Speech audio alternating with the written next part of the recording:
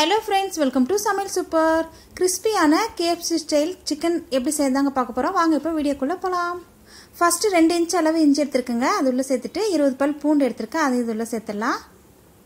கூட மூணு பச்சை மிளகாய் எடுத்துருக்கேன் அது இது உள்ளே சேர்த்துட்டு கால் டீஸ்பூன் அளவுக்கு சீரகம் சேர்த்துக்கலாங்க.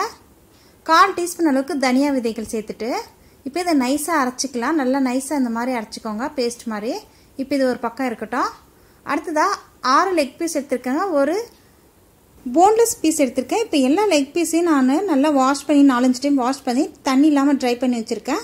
இப்போ இந்த லெக் பீஸஸில் இந்த மாதிரி நைஃப்பில் கீரல் போட்டுக்கலாங்க. அப்போ தான் உள்ளெல்லாம் நல்லா மசாலா ஏறி சிக்கன் உள்ளெல்லாம் நல்லா வெந்து வரும். அதனால் ஆல்ரெடி ஷாப்லேயே கீரல் போட்டு தான் தருவாங்க. இருந்தாலும் இன்னும் ரெண்டு கீரல் நம்ம போட்டுக்கலாம். பாருங்கள் இந்த மாதிரி எல்லா லெக் பீஸ்லேயும் நான் கீரல் போட்டுக்கிறேன். இந்த மாதிரி லெக் பீஸில் தான் செய்யணும் இல்லைங்க. நம்ம சாதாரணமாக பீஸில் கூட நம்ம செய்யலாம் நல்லாயிருக்கும். என்ன ஒன்று இந்த மாதிரி பீசஸில் செஞ்சால் குழந்தைங்க விரும்பி பிடிச்சிட்டு சாப்பிடுவாங்க. எல்லாத்துலேயும் நான் கீரல் போட்டுட்டேன். இந்த போன்லெஸ் பீஸில் நம்ம கீரல் போடணுன்னு இல்லைங்க. அது வெந்துடும் உள்ளெல்லாம் நல்லா மசாலா எரிக்கும். அதனால் இப்போ இந்த பீசஸ் எல்லாம் ஒரு மிக்சிங் பவுலில் மாற்றிடலாம் இப்போ இந்த பீசஸ்க்கெலாம் மசாலா போட்டு நம்ம மேரினேட் பண்ணி வைக்க போகிறோங்க அதனால் ஒரு முட்டை எடுத்துருக்குங்க அதை உடச்சி ஊற்றிக்கலாம் ஒரு முட்டையே போதும். இந்த ஆறு ஏழு பீஸ்க்கு ஒரு முட்டை போதும்.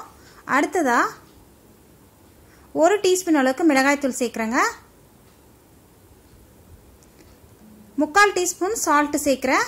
சால்ட்டு உங்கள் டேஸ்ட்டுக்கு தகுந்த மாதிரி சேர்த்துக்கோங்க. ரெண்டு டேபிள் ஸ்பூன் அளவுக்கு தயிர் சேர்க்குறேன். ஒரு டேபிள் ஸ்பூன் அளவுக்கு சோயா சாஸ் சேர்த்துக்கலாங்க. ஒரு டீஸ்பூன் அளவுக்கு டொமேட்டோ சாஸ் சேர்க்குறேன். ஆஃப் லெமன் எடுத்துருக்குங்க. அது விதைகள் எல்லாம் நீக்கிட்டு ஜூஸை மட்டும் பிழிஞ்சு விட்டுக்கலாம். விதைகள் இருந்தால் எடுத்துருங்க. நல்லா அந்த ஜூஸை பிழிஞ்சதுக்கப்புறம் முக்கால் டீஸ்பூன் அளவுக்கு பெப்பர் பொடி சேர்க்குறேங்க. சேர்த்துட்டு நம்ம அரைச்சோம் இல்லைங்களா? ஃபஸ்ட்டு மசாலா இஞ்சி பூண்டு மசாலா அது இது உள்ளே சேர்த்துடலாம். மசாலா சேர்த்துட்டு நல்லா கைகளால் மிக்ஸ் பண்ணி விட்டுக்கலாங்க. இந்த மசாலாலாம் சிக்கனோடு சேரணும். குறைஞ்சபட்சம் நாலு மணி நேரமாவது இந்த சிக்கன் இந்த மசாலாவோட ஊறணும். அப்போ தான் டேஸ்ட் நல்லாயிருக்கும். முடிஞ்சால் நீங்கள் ஓவர் நைட் கூட ஃப்ரிட்ஜில் வச்சுட்டு எடுத்து செய்யலாங்க. எவ்வளோக்கு எவ்வளோ ஊறுதோ அவ்வளோக்கு அவ்வளோ சிக்கன் சூப்பராக நல்லா ஜூஸியாக இருக்கும். உள்ளெல்லாம் வெந்து. பாருங்கள் நல்லா மிக்ஸ் பண்ணியாச்சு. நான் வந்து ஃப்ரிட்ஜில் தாங்க வைக்க போகிறேன் ஃபோர் ஹவர்ஸ் நான் ஃப்ரிட்ஜில் வச்சுட்டு அதுக்கப்புறம் டூ ஹவர்ஸ் எடுத்து வெளியே வச்சுட்டு அதுக்கப்புறம் நான் செய்ய போகிறேன் மூடி வச்சிடலாம். ஃப்ரிட்ஜில் வச்சிடலாங்க. நல்லா ஊறட்டும். பாருங்கள் ஃப்ரிட்ஜிலேருந்து எடுத்தாச்சு. நல்லா ஊறி இருக்குது நான் வந்து ஃபோர் ஹவர்ஸ் ஃப்ரிட்ஜில் வச்சுட்டு அதுக்கப்புறம் டூ ஹவர்ஸ் எடுத்து வெளியே வச்சுட்டு எடுக்கிறேங்க. நல்லா ஊறி இருக்குது நல்லா மிக்ஸ் பண்ணி விட்டுக்கோங்க. இது ஒரு பக்கம் இருக்கட்டும். இப்போ கோட்டிங்க்கு நம்ம அடுத்ததாக மாவு மிக்சர் ரெடி பண்ணிக்கலாம். ஒன்றரை கப் அளவுக்கு மைதா மாவு எடுத்துக்கோங்க. வீட்டில் இருக்கிற பொருளை வச்சு தாங்க நம்ம இன்றைக்கி இந்த ஃப்ரைட் சிக்கன் செஞ்சுருக்கோம். கண்டிப்பாக நீங்கள் வீட்டில் ஒரு முறை ட்ரை பண்ணி பாருங்கள் பாருங்கள் கூட ஒரு டேபிள் ஸ்பூன் அளவுக்கு கார்ன்ஃப்ளவர் மாவு எடுத்துக்கலாங்க. சேர்த்துட்டு இதுக்கு தேவையான அளவு சால்ட்டு சேர்த்துருக்கேன். அரை டீஸ்பூன் அளவுக்கு மிளகாய்த்தூள் அரை டீஸ்பூன் அளவுக்கு பெப்பர் பொடி சேர்த்துட்டு இப்போ இது நல்லா மிக்ஸ் பண்ணி விட்டுக்கலாம். இந்த மாவோட எல்லாம் நல்லா மிக்ஸ் ஆகணும். நல்லா மிக்ஸ் பண்ணி விட்டுக்கோங்க. ப்ரெட் க்ரம்ஸு அப்புறம் வேறு எந்த ஓட்ஸு எதுவுமே நம்ம யூஸ் பண்ணல. வீட்டில் இருக்கிற பொருளை வச்சு தான் செய்கிறோம் பாருங்கள் நல்லா மேரினேட் பண்ணி வச்ச சிக்கனை இந்த மாவில் நல்லா இந்த மாதிரி பெரட்டி எடுத்துக்கணுங்க. நம்ம கை வந்து சிக்கனில் படக்கூடாது. நல்லா அந்த மாவில் நான் காட்டியிருக்கேன் பாருங்கள் அந்த மாதிரி நல்லா பெரட்டி எடுத்துக்கோங்க. சிக்கனில் கைப்படாத மாதிரி மாவில் நல்லா பெரட்டி எடுத்துகிட்டு இந்த மாதிரி டஸ்ட் பண்ணி விட்டுக்கோங்க மாவை. இப்போ இதை ஒரு பிளேட்டில் வச்சிடலாம். இது வந்து ஃபஸ்ட்டு கோட்டிங் தான். இதே மாதிரி எல்லா சிக்கனையும் நம்மள மாவில் மாவில் பெரட்டி எடுத்துகிட்டு நம்ம தட்டில் மாற்றி வச்சுக்கலாங்க. சிக்கனை இந்த மாதிரி மாவுலேருந்து எடுக்கும்போது நல்லா டஸ்ட் பண்ணி எடுத்துக்கோங்க. நல்லா உதிரி விட்டு எடுத்து வச்சுக்கோங்க. அப்போ தான் அந்த க்ரஸ்ட்டு ஃபார்ம் ஆகும். இப்போ நம்ம வந்து முதல் கோட்டிங் தான் செய்கிறோம் ரெண்டாவது கோட்டிங் இருக்குது நம்ம சேனலில் ஏற்கனவே சிக்கன் மேரினேட் பண்ணி பிரியாணி போட்டிருக்கோம். சிக்கன் மேரினேட் பண்ணி சிக்கன் சுக்கா போட்டிருக்கோங்க. கண்டிப்பாக அந்த ரெசிபிஸ்லாம் பாருங்கள் ரொம்ப ரொம்ப டேஸ்டியாக இருக்கும். சிக்கன் பிரியாணிலாம் அவ்வளோ டேஸ்டியாக இருக்கும். டிஸ்கிரிப்ஷனில் லிங்க் தரேன். செக் பண்ணி பாருங்கள் அதே போல் மக்கன் பேடா கேக்லாம் செஞ்சுருக்கோங்க. வீட்லேயே சுலபமாக நம்ம அதெல்லாம் செஞ்சிடலாம். ஷாப்புக்கு போகாமல் அதனுடைய லிங்க்கும் எண்ட் கார்டில் தரேன். செக் பண்ணி பாருங்கள் பூண்டு ஊறுக்காய் தக்காளி ஊறுக்காய் எல்லாம் கூட போட்டிருக்கோங்க. அதனுடைய கார்டில் ஐ கார்டில் தரேன். செக் பண்ணி பாருங்கள் இன்னும் நிறைய நிறைய ரெசிபி ஸ்நாக் ரெசிபிலாம் போட்டிருக்கோம். கண்டிப்பாக நம்ம சேனலை விசிட் பண்ணி பாருங்கள் ப்ளேலிஸ்ட்டில் போய். பாருங்கள் நான் எல்லா சிக்கனையும் இந்த மாதிரி டஸ்ட் பண்ணி எடுத்துக்கிட்டேங்க. பாருங்கள் ஃபஸ்ட்டு கோட்டிங்கே உங்களுக்கு நல்லா தெரியும். நல்லா லேயர் ஃபார்மாக இருக்குது அதே போல் நம்ம சாஸ்லாம் போட்டோம் இல்லைங்களா? டொமேட்டோ சாஸு சோயா சாஸ் அது இல்லைன்னா கூட பரவாயில்லைங்க. ஸ்கிப் பண்ணிக்கலாம். சாஸ்லாம் இல்லாமல் கூட செய்யலாம். நல்லா தான் இருக்கும் டேஸ்டியாக இப்போது பாருங்கள் எல்லா சிக்கனும் நான் இந்த மாதிரி மாவில் டிப் பண்ணி எடுத்துக்கிட்டேன். இப்போ அடுத்ததாக சிக்கன் பீஸ்லாம் அப்படியே இருக்கட்டும். நம்ம அந்த மாவை ஜலிச்சு எடுத்துக்கலாங்க. நம்ம மாவை புரட்டி எடுத்தோம் இல்லைங்களா சிக்கனை போட்டு. அதனால் மாவு ஈரமாயிட்ருக்கோம் அதனால் இந்த மாதிரி ஒரு முறை ஜல்லடை வச்சு ஜலிச்சு எடுத்துக்கலாம். ஜலிக்கிறதுனால நம்ம ஈரம் பட்ட அந்த கட்டியெல்லாம் தண்ணி நின்றுடும் மாவு ஸ்மூத்தாக கீழே இறங்கிடும். நம்ம செகண்ட் கோட்டிங் கொடுக்க போகிறோம் இல்லைங்களா? அதனால் மாவு ஜலிக்கிறதுனால நல்லாயிருக்கும். இப்போ இந்த கிப் திப்பியெல்லாம் கீழே போட்டுடலாங்க. இப்போ அந்த ஜலிச்ச மாவை அதே பவுலில் மாற்றிட்டு பக்கத்தில் பாருங்கள் நான் ஒரு பவுலில் சாதா வாட்டர் தாங்க இது பச்சை தண்ணி வச்சுருக்கேன்.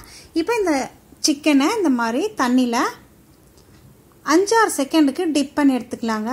தண்ணியில் டிப் பண்ணி எடுத்துட்டு திரும்பவும் மாவு மிக்சரில் போட்டு நல்லா மிக்ஸ் பண்ண போகிறோம் இந்த மாதிரி பண்ணுறதுனால தான் நமக்கு லேயர் நல்லா ஃபார்ம் ஆகி நல்லா இருக்குங்க மேலடுக்கு நல்லா ஃபார்ம் ஆகி நல்லா ப்ரில் ப்ரில்லாக இருக்கும். சிக்கன் நம்ம ஃப்ரையாக ஃப்ரை பண்ணும்போது பாருங்கள் இந்த மாதிரி நல்லா முதல் சொன்ன மாதிரி தான் கையில் படாமல் நல்லா மாவை புரட்டி புரட்டி போட்டு எடுத்துக்கோங்க சிக்கன் மேலே. எடுத்துட்டு நல்லா சிக்கன் இந்த மாதிரி பிடிச்சிட்டு டஸ்ட் பண்ணிக்கோங்க. பாருங்கள் நல்லா லேயர் ஃபார்ம் ஆகிருக்கு இப்போ எண்ணெய் காஞ்சின்னு இருக்குது எண்ணெயில் போட்டுடலாம். எண்ணெய் வந்து ஃபஸ்ட்டில் நீங்கள் காயிற வரைக்கும் ஹை ஃப்ளேமில் வச்சுட்டு அதுக்கப்புறம் கண்டிப்பாக மீடியம் ஃப்ளேமில் வச்சு லோ ஃப்ளேமில் வச்சு பொரிச்சுக்கோங்க அப்போ தான் சிக்கன் உள்ளெல்லாம் நல்லா வெந்திருக்கும். பாருங்கள் நல்லா க்ரஸ்ட்டு ஃபார்ம் ஆகிருக்கு பார்க்கும்போதே தெரியும் உங்களுக்கு. நம்ம வீட்டில் இருக்கிற பொருளை வச்சு சூப்பராக செஞ்சுருக்கோம். இந்த ஃப்ரைட் சிக்கன் கண்டிப்பாக நீங்கள் உங்கள் வீட்டில் ஒரு முறை இந்த மெத்தடில் ட்ரை பண்ணி பாருங்கள் ரொம்ப ரொம்ப சூப்பராக இருக்குங்க. பார்க்கும்போதே எவ்வளோ சூப்பராக இருக்குது பாருங்கள் நல்லா கிறிஸ்பியாக அவ்வளோ நல்லாயிருக்கும் பாருங்கள் நான் மீதி இருக்கிறதும் அதே மாதிரி தண்ணியில் டிப் பண்ணிவிட்டு மாவு மிக்சரில் போட்டு புரட்டி எடுத்துட்டு எண்ணெயில் போட்டு பொரிக்க போகிறேங்க நல்லா இந்த மாதிரி உதிரி விட்டுக்கோங்க. அப்போ தான் அந்த லேயர் நல்லா அப்படியே ஃப்ரில் ஃப்ரில்லாக ஃபார்ம் ஆகும்.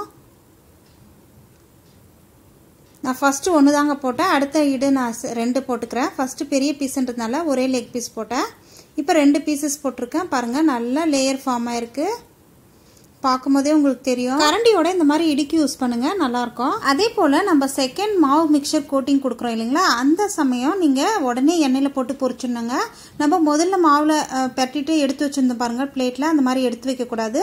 முடிஞ்ச வரைக்கும் செகண்ட் கோட்டிங் மாவு நம்ம பொட்டினதும் உடனே எண்ணெயில் போட்டு இந்த மாதிரி ஃப்ரை பண்ணி எடுத்துக்கணுங்க. அப்போ தான் நல்லாயிருக்கும். இல்லை மாவெல்லாம் நமக்கு சிக்கனோட ஒட்டியிருக்குங்க பாருங்கள் சூப்பரான கேஎஃப்சி ஸ்டைலில் ஃப்ரைட் சிக்கன் ரெடி பண்ணிட்டோம். வீட்லேயே மொறு மொறுன்னு கண்டிப்பாக நீங்கள் இந்த ரெசிபி வீட்டில் ஒரு முறை ட்ரை பண்ணி பார்த்துட்டு எப்படி இருந்ததுன்னு கமெண்ட் செக்ஷனில் சொல்லுங்கள் நம்ம சேனலுக்கு இப்போ தான் புதுசாக வரீங்கன்னா கண்டிப்பாக நம்ம சமையல் சூப்பர் சேனலை சப்ஸ்கிரைப் பண்ணி வச்சுக்கோங்க. கூடயே ஆல் இன்ற பெல்லை கிளிக் பண்ணி வச்சுக்கோங்க. அப்போ தான் நம்ம சேனலில் போடக்கூடிய புத்தம் புது வீடியோக்கள் உங்களுக்கு உடனுக்குடனே வந்து சேருங்க.